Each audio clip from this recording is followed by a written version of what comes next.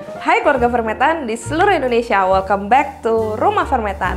Guys, fermetan itu selalu berinovasi dari waktu ke waktu untuk memenuhi kebutuhan dan permintaan dari kalian semua yang ada di rumah.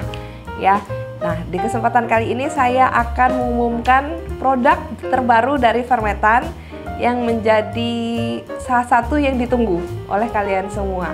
Produk apakah itu? Ditonton videonya. Let's go!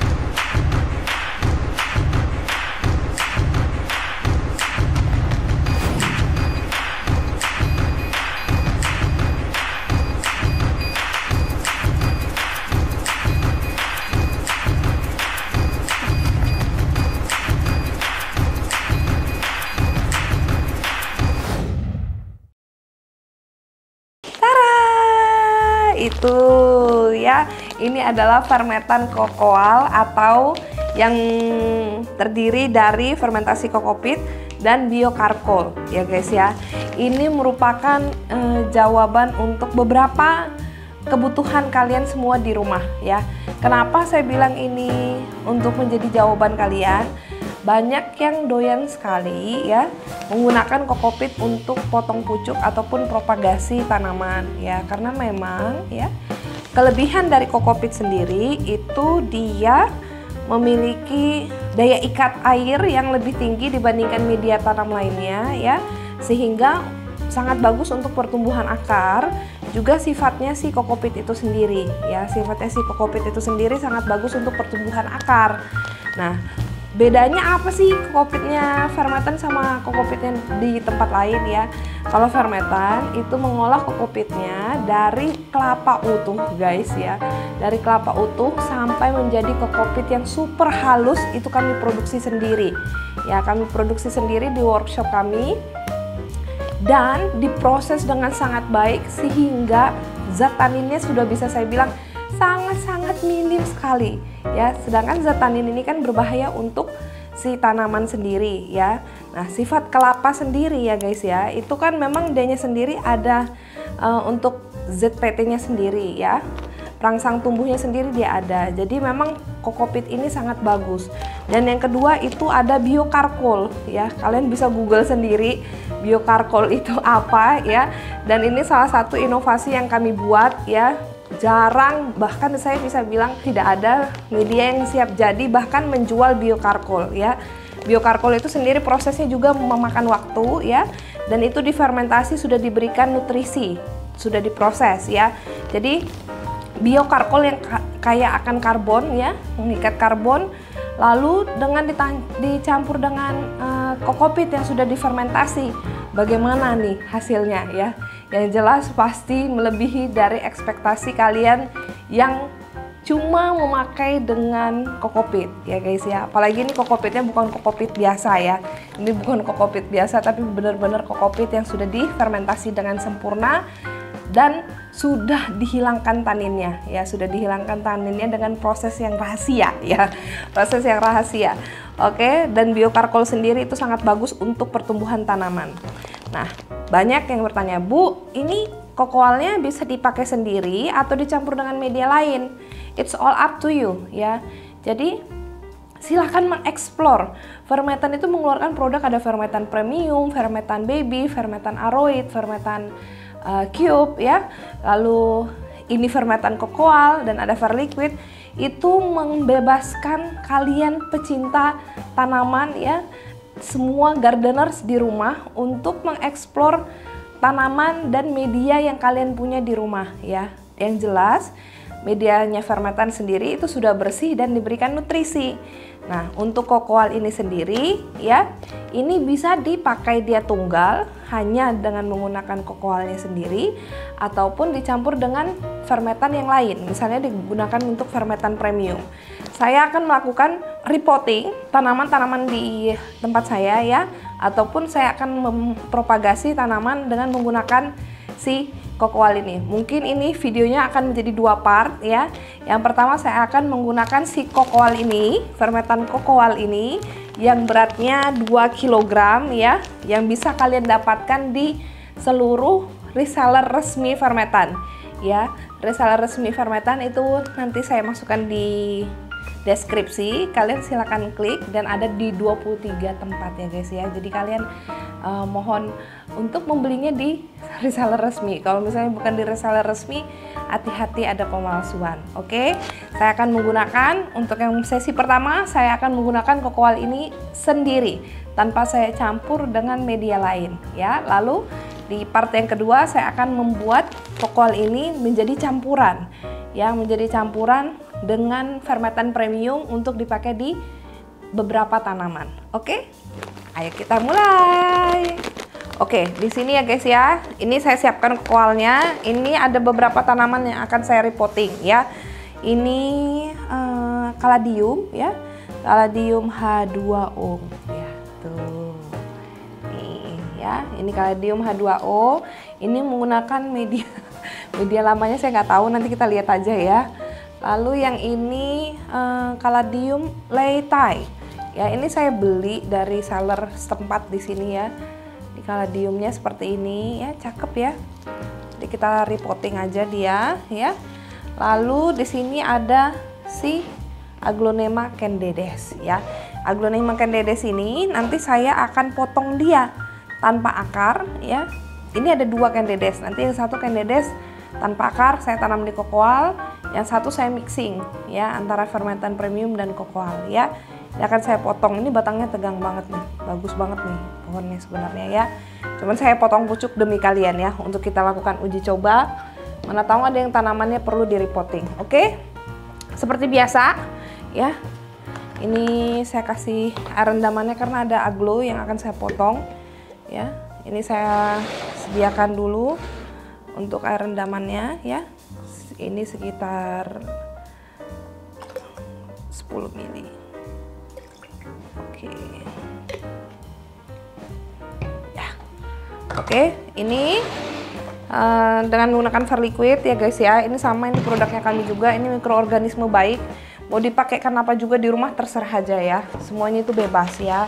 Tapi kalau saya sendiri pakaikan itu nah ini nanti kokoalnya ya kokoalnya untuk cara repotting kaladium, kenapa kaladium ini sebenarnya uh, bukan sesuatu yang susah.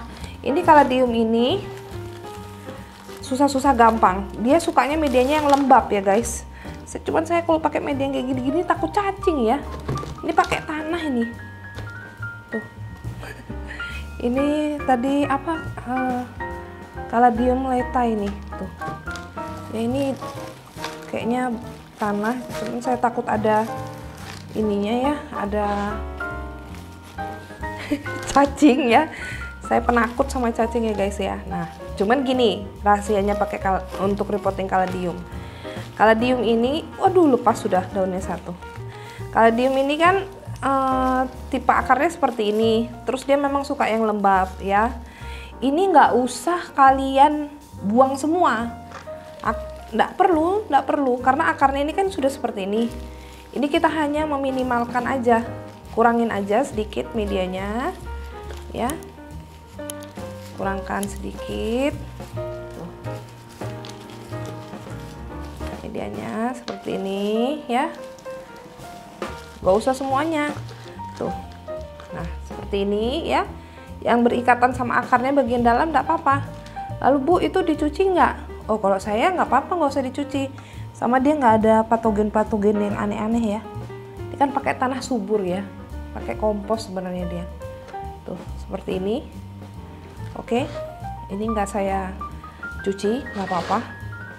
Lalu kita repotting dia menggunakan fermentan kokoalnya ya. Ini full pakai kokoal saya buat ya. Seperti ini. Lalu ya kaladium itu suka yang lembab ya. Suka yang lembab. Jadi ini sangat cocok untuk dipakaikan kokoal. Sangat cocok ya. Kokoal ini sendiri dianya memang lembab terus dia uh, sudah sudah enak banget kalau kita mau kasihkan dia nutrisi ya. Nutrisi misalnya kita rajin kayak saya kan di sini tiap minggu saya kasihkan liquid ya. Kita rajin kasih nutrisi makin bagus pertumbuhannya ya nih guys ya kokoalnya. Ini kokoalnya di sini nih tuh. Ini halus banget ini halus banget. Tuh ya. Makanya saya bilang gak akan sama sama yang biasa kalian pakai tuh. Ya kokoalnya siap pakai guys. Ini enak banget. Enak banget ya. Enak banget. Nih. Tuh ya. Biasanya kan kalau misalnya pakai kokopit itu kan suka empet-empet gitu apa ya saya bilang ya. Suka suka padat gitu. Ini enggak ya. Ini benar-benar karena sudah diproses dia mudah sekali terurai. Dia enak banget ini enak banget halus. Halus seperti biasa ya. Kalau misalnya kalian mau kasih pupuk slow release boleh ya. Ini saya kasihkan pupuk slow release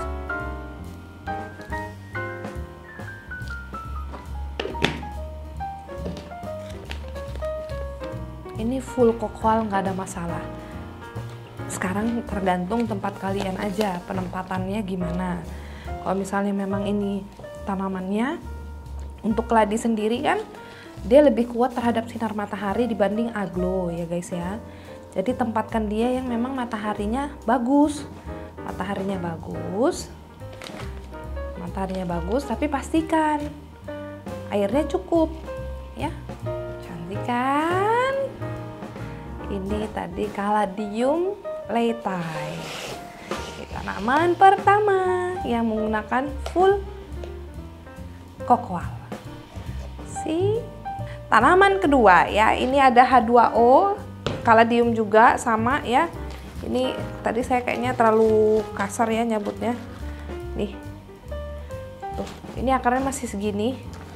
Ya ini medianya nggak saya pakai lagi ya medianya nggak saya pakai lagi tuh. Akarnya sedikit nih.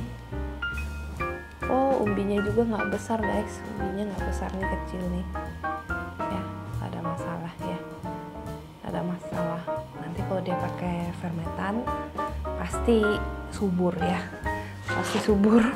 Ini kalau kalian punya fermentan cube di rumah ini boleh ini kan potnya gede nih. Ininya kecil. Ini boleh kalian pakaikan fermentan cube ya. Coba saya ambilkan fermentan cube nya ya nah seperti ini ya. Kalian punya fermentan cube silakan ini di, bisa diberikan fermentan cube karena ini kan kalau di dalam banget kan kasihan ya tenggelam ya. Ini jadi saya masukkan fermentan cube sekitar setengah pot ya. Sekitar setengah pot tuh. Cube ini juga cube ini juga salah satu produk yang memang kami hasilkan sendiri kami proses sendiri ya ibu-ibu ya. Ini tinggal saya kasih pupuk release tapi ini tetap full ya full kokoal nih. Cuman yang bagian bawahnya tadi yang saya kasihkan dengan fermentan cube seperti ini. Saya sebenarnya nggak nggak di endorse sama pot ya guys ya. Cuman memang saya suka sama pot ini. Cuman karena sudah memang pot ini bertatakan enak. Jadi biasanya saya kalau misalnya tatakannya lepasan suka hilang tatakannya ya. Suka hilang kalau enggak pas ngangkat suka kelupaan. Nah ini tanaman kedua. Oke. Oke yang ini adalah aglonema candedes guys ya. Ini dia termasuk yang kayaknya dorman ya. Dorman uh, kurang bagus pertumbuhannya. Ini anakan samping yang belum pernah dipotong sama sekali ya.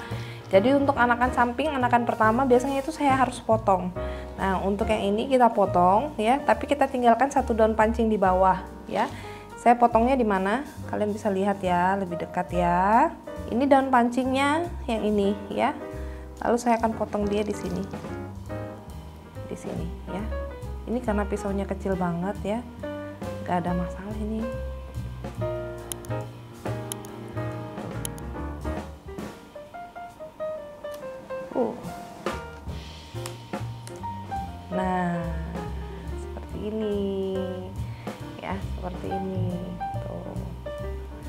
kita rendam dulu ya, 4 daun plus nih ya. Kenapa, Bu? Nah, potongnya 4 daun plus. Karena untuk daun yang 4 daun plus itu akan lebih mudah untuk tumbuh akarnya. Ya, jadi kalau misalnya tanamannya masih dua daun, aduh, lebih baik jangan dipotong ya guys kecuali kepepet kepepetnya itu misalnya punya anakan samping dua daun terus ada tanda-tanda sakit ya mau nggak mau kita potong tapi kalau nggak nggak usah ya lalu ini tinggal kita tutup dengan kapur sirih ya ini kita tinggal tutup kapur sirih nah yang ini kita tunggu kurang lebih 30 menit ya sambil saya siapkan tanaman yang nanti saya mau kerjakan yang lainnya ya.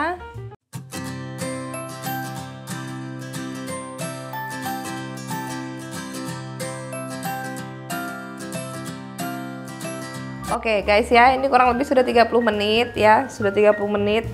Kita kalau namanya berkebun berantakan itu biasa ya, itu biasa.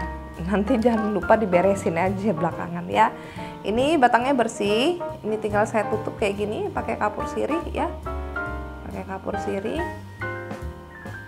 seperti ini ya. Nah, ini kan udah ada akar ya. Bu, tanamannya pucuk tanpa akar bisa ditanam nih pakai kokwal bisa, ya bisa. Uh, apakah bisa seterusnya untuk aglonema ditanam pakai kokwal? Bisa aja, boleh, boleh guys, boleh. Cuman kalian harus memahami bahwa semakin sedikit bahan organik yang dikandung dalam suatu media tanam, ya. Bahan organik itu uh, komposisi pembentuknya, ya. Semakin sedikit, semakin sedikit juga nutrisinya, ya fakta fakta guys karena sama seperti manusia. Manusia kalau memang dia mau uh, sehat ya mau sehat makanannya pasti banyak variasinya. Ada nasinya ada lauknya ada karbonya ada sayurnya ya. Sayurnya aja nggak satu jenis ada buahnya ya. Dan bahkan ada kerupuknya ya. Ada kerupuknya. Jadi seperti itu juga makanannya si tanaman ya. Jadi kalau misalnya bahan organiknya lebih sedikit, lebih simpel, lebih sederhana, apakah bagus? Bagus aja. Cuman nutrisinya pasti akan lebih sedikit. Nah, seperti ini kokoal ya dia bagus untuk penumbuhan akar dia bagus, tapi untuk nutrisinya apakah dia bagus, Bu? Dia bagus kalau kita rajin kasih nutrisi dia, semprot dia tiap hari. Misalnya kita rajin main mikroorganisme nih, ya, rajin main uh, pupuk ya mau kita semprot dianya dua hari sekali nggak apa-apa gitu loh. Tapi kan lebih lelah ya lebih lelah ya lebih memakan waktu. Tapi kalau misalnya kalian memang cuma mau menumbuhkan akar uh, sampai dia bagus terus kalian pindahkan ke fermentan premium atau fermentan baby gitu ya itu boleh ya guys ya itu boleh. Nanti makanya ini kita lihat kita nanti kita update pertumbuhannya bagusnya gimana ya tapi ini pilihan ya. Buat kalian yang males males siram atau misalnya yang nggak sempet nyiram ya nggak sempet nyiram tanaman kokoal ini bagus ya guys ya. Jadi buat kalian yang uh, suka lupa nyiram atau misalnya sering keluar kota ninggalin tanamannya atau misalnya yang nggak ada orang di rumah yang bantuin nyiram-nyiram kokoal ini bisa menjadi jawaban buat kalian ya guys ya. Ini tinggal kita tanam aja. Tadi saya isi sama kokoal lalu saya isikan gini ya. Mau dikasih pupuk slow release juga sudah boleh ya. Nih lalu ini kita masukkan kembali seperti ini. Ruas yang paling bawah sama dua terbawah boleh tertutup ya. Tapi jangan sampai ketutup semua ya guys ya. Ini tinggal saya tulis dulu hak tanggal hari ini dan perlakuannya tadi ya